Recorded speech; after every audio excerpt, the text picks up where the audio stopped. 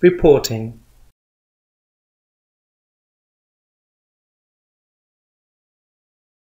The Reporting tab allows a user to view and extract useful information about the ISAs their organization is hosting and participating in, as well as the details of the non-registered organization.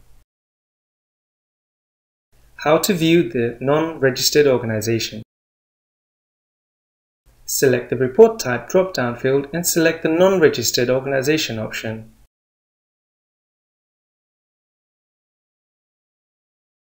Select the Run Report button to show the results.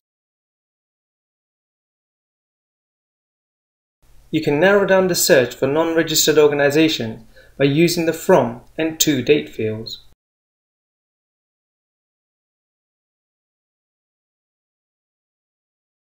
To extract the information from the table below, select the Export Report link and save the downloadable Excel file onto your computer.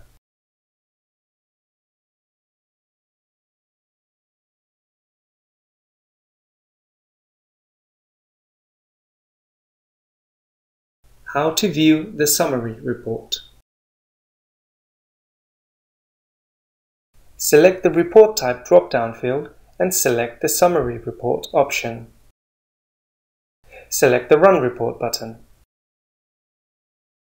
To extract the information from the table below, select the Export Report link and save the downloadable Excel file onto your computer.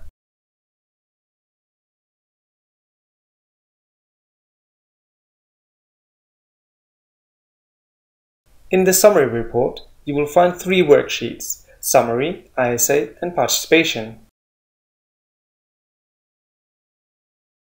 each of which will contain detailed information about your organization's ISAs.